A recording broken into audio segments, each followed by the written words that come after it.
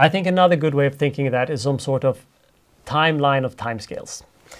Going all the way from femtoseconds up to hours in this case. Down in the femtosecond range, we have physics. You can even go down to attosecond laser experiments. This is the realm of quantum mechanics and everything. In theory, you should be able to integrate the time-dependent relativistic Schrodinger equation at some point. But the price for this is that you're stuck with very small, simple system. You don't have any solvent around them. You can study maybe the vibration of an angle or possibly around picoseconds, the rotation around a torsion, the bond. Now, the advantage of this is that in simulations, you might have an extreme detail about these phenomena, and they agree perfectly with the ab initio physical equations. The problem here is that I can't extrapolate this by 15 orders of magnitude, even if I had the computer power, because again, the algorithms might not be, sorry, the equations might not be so exact. The models might not be so exact that they will be valid if I extrapolate them by 10 to the power of 15. And in particular, if I have some sort of simplified model, there are also issues about the parameters. Will they be valid up here? Now, if I move to this other point up here, or down there rather, I have a ribosome. It's a beautiful piece of machinery in the lab. I can't look at the ribosome, but I can certainly use simplified experiment to check that it's producing proteins.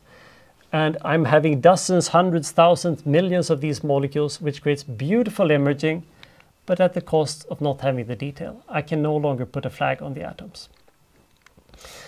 For a very long time, these were separate worlds not talking to each other. But as computers and models got better and better, we gradually moved up the ladder. So you can think of this as moving bottom up. So you're using physics, but maybe simplified models.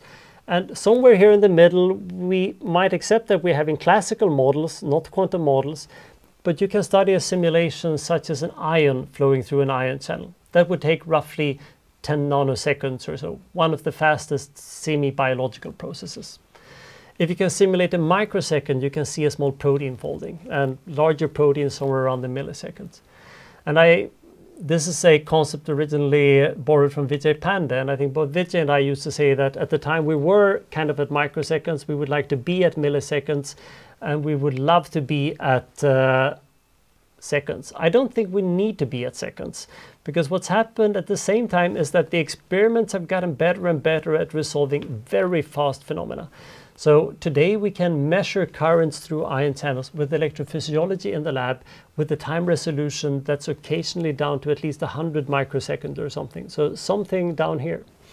And that means that the top-down approaches are now overlapping with the bottom-up approaches. And that means that if our models overlap, we can use both of them to study any concept you're interested in.